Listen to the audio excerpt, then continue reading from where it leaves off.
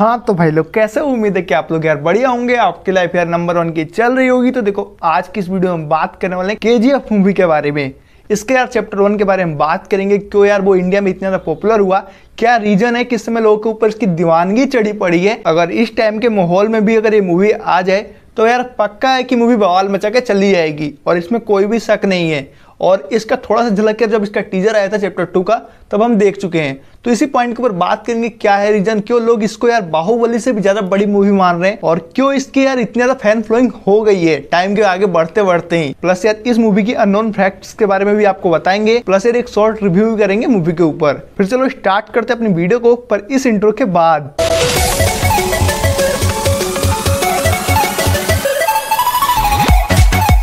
तो भाई लोग, अगर इसमें पहले बात कर लें इसके स्टार कास्ट के बारे में तो उसमें आपको देखने को मिले थे यस, और उनके साथ देखने को मिली थी आपको श्रीनिधि शेट्टी, प्लस इनसे लग गया रामचंद्र राजू, और उनसे लग गया यार कुछ और भी अच्छे एक्टर देखो यार, इसमें से दो तीन ऐसे एक्टर है ना, जिनकी यार फ़र्स्ट मूवी थी, जिसमें यार पहला नाम आता है श्रीनिधि शेट्टी का ही, क्योंकि उन्होंने इस मूवी के लिए सात मूवी पहले रिएक्ट कर दिया था, सिर्फ़ इस मूवी के लिए। तो यार ये तो होगी इसकी स्टार कास्ट के बारे में बातें। अब अगर बात कर लें क्या रीजन है और क्या स्टोरी दिखाई जाती है तो देखो स्टोरी ज़्यादा कोई खास नहीं है। हमने इससे पहले भी यार कई सारे विलन्स एक तरीके से विलन्स टाइप हीरो के ऊपर स्टोरी देखी है। और हमें यार यहाँ भी स्टोरी में कोई बहुत ही ब्रिलियंट स्टोरी देखने को नहीं मिली थी। स्टोरी यार एक ऐसे कैरेक्टर फोकस करती है जिसको यार पूरी दुनिया पे राज करना है। बचपन से उसे पावर लेना अपने हाथ में, एक ब्रांड बनना है एक तरीके से उसे। और स्टार्टिंग से उस कैरेक्टर पर फोकस करती है जिसका नाम है रोकी और जिसके बारे में हमें यार मूवी के बीच में ही बता दिया जाता है कि यार वो आगे चल के बहुत बड़ा गैंगस्टर बनेगा।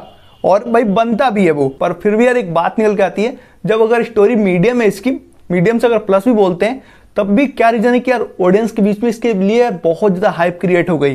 क्या रीजन है कि समय यार इसकी दीवानी की सिर चढ़ के बोल रही है? तो रीजन है इसके पहले बात यार इमोशन भाई जिस तरीके से इसमें इमोशन डाले गए ना, वो लाजवाब थे। चाहे यार हमारा इमोशन यार रॉकी भाई के लिए हो, या फिर रॉकी का इमोशन यार उसकी माँ के लिए हो, ये सारी चीज़ें बहुत ही यार आराम से कनेक्ट करेंगे, आपको बहुत ज़्यादा पसंद आएँगी।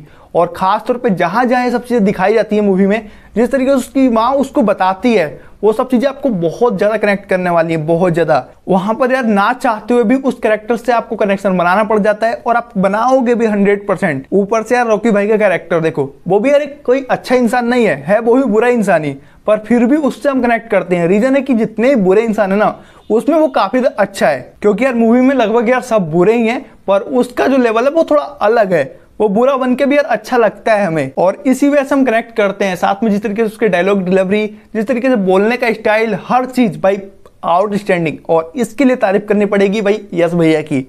जिस तरीके से उन्होंने भाई एक्टिंग करी है इसमें, लाजवाब। उसको देखकर भाई क्या ही कहने। मतलब एक तरीके से उन्होंने यार रॉकी के कैरेक्टर को बिल्कुल जिया है। और हमें यार बिल्कुल पहचान ही नहीं पड़ता कि भाई वो यस हैं। उन्हें हमें लगता है कि हाँ भाई, ये रॉकी भाई हैं और भाई ये बवाल मचाने आए हैं। कितने लोगों को यार, इस मूवी को देखने से पहले उनका नाम भी पता नहीं होगा और इस मूवी को देखने के बाद उनको रॉकी बोल रहे थे, काफ़ी लोग। मूवी की स्टोरी में स्टार्टिंग में यार बहुत सारे पॉइंट चलते हैं, बहुत तरीके से और कई सारी चीज़ें अनलॉजिकल भी होती हैं, जैसे एक्शन फाइट सीन एक हीरो है जो काफ़ी लोगों को एक साथ मार रहा है। और फिर भी वो हमें पसंद आती हैं। यही अगर ये चीज़ यार बॉलीवुड में हो जाए तो भाई, अगर खासतौर पर सलमान भाई कर दें तो पक्का भाई मज़ाक तो उड़ना है। पर उसके साथ केस ये हुआ क्यों यार वो हमें पावरफुल लगता है वो बंदा। क्योंकि यार देखो, किसी चीज़ को पावरफुल दिखाने में और एक एक्शन दिखाने में बहुत अंतर होता है।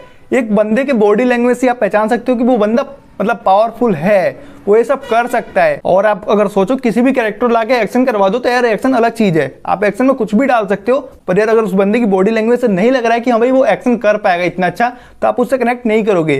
पर यस के बॉडी लैंग्वेज से वो कैरेक्टर हमें लगता है कि हाँ रोकी भाई का कैरेक्टर ऐसा कर सकता है, इतना मार सकता है। और चाहे स्टार्टिंग वाला सीन हो या फिर लास्ट वाला सीन हो हर जगह उस कैरेक्टर की अलग ही पहचान बनती है। उसके बाद इस पूरी मूवी के क्लाइमैक्स भाई कसम से। आपने एक्सेप्ट नहीं किया होगा, किसी ने भी एक्सेप्ट नहीं किया होगा। जिस तरीके से यार एस के कैरेक्टर को स्टार्टिंग से दिखाया गया था, जिसको यार देख के लग रहा था कि लास्ट में वो जाके यार काफ़ी सारे लोगों से लड़ेंगे, काफ़ी सारे लोगों को मारेंगे। पर यार इस मूवी ने यार साउथ की मूवीज़ का ट्रेंड यार यहीं से चेंज कर दिया। बंदा कुछ भी नहीं करता है, चुपके से जाता है, दिमाग लगाता है और एक चुटकी में खेल खत्म।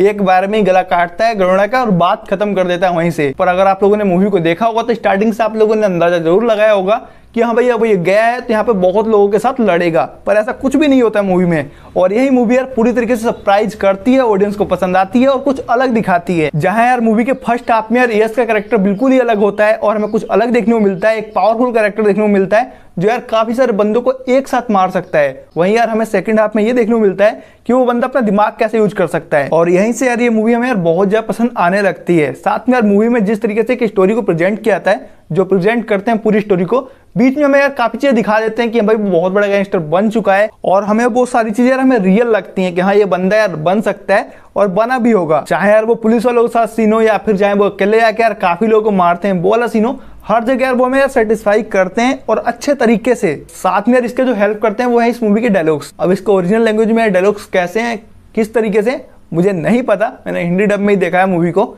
और हिंदी में जिस तरीके से डायलॉग्स को डाला गया, वो भाई लाजवाब थे। हर डायलॉग से आपको कनेक्ट करेगा और सुनने के बाद आप खुद बोलना चाहोगे उसे। और यही रीजन था कि यार, ये मूवी यार यूथ के बीच में बहुत ज़्यादा पॉपुलर हुई। हर बंदा देख के आने के बाद डायलॉग बोल रहा है स्टेटस लगा रहा है। और इसी वजह से आज तक इसके डायलॉग यार हिट है। वहीं जो इस पूरे मूवी के लोकेशन सीन है, वो भी यार लाजवाब थे। और इनके लिए प्लस पॉइंट साबित ये हुआ कि एक तो यार रियल लोकेशन थी। और जब दोनों ये चीज़ें यार मिक्सअप हुई तो भाई बवाल निकला वहाँ से। जो ऑडियंस को बहुत ज़्यादा पसंद आया। पूरे मूवी को यार शूट करने में तीन साल लगे थे और एक बहुत बड़ा टाइम होता है किसी भी एक्टर को इतना टाइम देने के लिए एक मूवी के ऊपर और एक डायरेक्टर यार एक मूवी को इतना टाइम में बनाए। तो यार इसी वजह से जान सकते हो कि इस मूवी को बनाने के लिए उन्होंने कितना मेहनत करा है। हर चीज़ को यार अच्छा दिखाने के ऊपर। एक फैक्ट ये भी है कि यार इस मूवी का सेट जो है ना, जब पचास परसेंट शूटिंग हो गई थी, उसके बाद खराब हो गया था बारिश की वजह से। पर उसको फिर से दोबारा बनाया गया और उसी तरीके से बनाया गया। पूरे मूवी की स्टोरी सेट किया गया नाइनटी के दशक में और उस हिसाब से जिस तरीके से लोकेशन को दिखाए गए, वो भी यार काफ़ी अच्छे थे। एक्शन फाइट सीन यार काफ़ी आगे तक के लगते हैं, पर उनकी जो सिनेमेटोग्राफी थी, वो भी काफ़ी हद तक इम्प्रेसिव थी। और उसके बाद यार पूरी मूवी के जो हाइप क्रिएट करता है, वो है इसके बैकग्राउंड स्कोर भाई, क्या ही बोला जाए उसके बारे में, बवाल।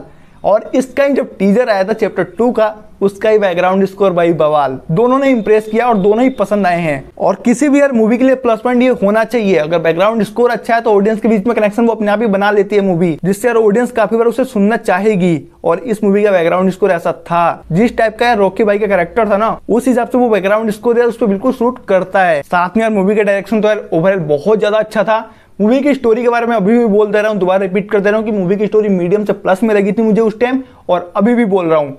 पर ये सारी चीज़ें जब मिलती है मूवी के साथ में, इसका बैकग्राउंड स्कोर इसके सिनेमाटोग्राफी इसमें एक्टिंग ये सारी चीज़ें इस मूवी की स्टोरी को यार बवाल बना देती हैं, और ऑडियंस को वो हंड्रेड परसेंट पसंद आती है। मूवी की स्टोरी दो टाइमलाइन में चलती है लगभग। और एक बंदा स्टोरी को प्रेजेंट करता है, पर फिर भी मूवी आपको बोर नहीं करती है। मूवी में यार एक्टिंग तो यार फ़र्स्ट क्लास देखने को मिली ही थी, चाहे वो यार यश की तरफ़ से हो या फिर श्रीनिधि शेट्टी की तरफ़ से हो या फिर रामाचंद्र राजू जो है, उनकी तरफ़ से हो, सबने अपने काम को बहुत ही अच्छे तरीके से किया था। बाकी यार सबसे ज़्यादा अच्छा जो लगा इस पूरे मूवी का वो था मुझे इमोशन और वो मुझे अभी तक पसंद आते हैं। जिस तरीके से यार रोकी के कैरेक्टर को लिखा गया है, उसकी यार माँ के इमोशन के साथ वो बहुत ज़्यादा अच्छा है, जिससे यार हर ऑडियंस यार कनेक्ट करती है, और मुझे सबसे ज़्यादा वो पसंद आया इस मूवी का। और यही रीजन है कि जब यार के चैप्टर टू का जब टीजर आया था तो उसमें भी यार कुछ हमें ऐसा ही एक सीन देखने को मिला था सबसे लास्ट में आके। यार उन्हें पता है कि ये चीज़ यार ऑडियंस को बहुत ज़्यादा कनेक्ट करती है। तो अगर ओवरऑल बात करना हो इस मूवी के बारे में, कि मूवी यार इतनी ज़्यादा फ़ेमस क्यों हुई रीजन क्या था उसका तो देखो यार पहला रीजन था इस पूरी मूवी का इमोशनली अटैचमेंट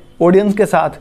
जो यार बहुत अच्छे तरीके से मूवी बना पाई, कुछ ऐसा दिखाया जो यार ऑडियंस चाहती है। एक रियल स्टोरी के साथ भी लोग यार हमें रियल स्टोरी ऐसा फील करवा के गए जो बहुत ज़्यादा इंप्रेसिव था। तो बस यार फाइनली बात कर ले उस मूवी के बारे में तो मूवी यार बहुत ज़्यादा अच्छी है। एक बार तो हर ऑडियंस को देखनी चाहिए। अगर आप लोगों ने इस मूवी को देखा है तो फिर से जाकर दोबारा से देखो यार। और इन्जॉय करो। मूवी का पार्ट टू यार आने वाला अप्रैल में, बाईस अप्रैल में शायद, दो हज़ार बाईस में। और सब चीज़ अच्छा रहा तो मूवी आ भी जाएगी और बवाल मचा के जाएगी। जिस दिन आएगी, बहुत सारे रिकॉर्ड तोड़ने वाली है और बहुत ज़्यादा ऑडियंस को फिर से कनेक्ट करने वाली है। हम ये नहीं कह सकते कि चैप्टर टू ही बनेगा इसका।